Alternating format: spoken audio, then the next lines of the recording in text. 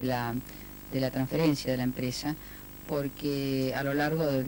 la historia de Entel ha habido distintas situaciones con las provincias y estamos tratando de dejar la casa lo más ordenada posible para que los licenciatarios no entren en conflicto con los gobiernos provinciales y para que puedan realmente cumplir con lo que esperamos de la empresa privada, la expansión y el adelanto tecnológico que vendrá con la inversión. O sea, no es que la gente de la empresa nacional de telecomunicaciones no pueda hacer las cosas, es que simplemente no hay los medios para invertir y para poder llevar adelante la empresa como debiera llevarse.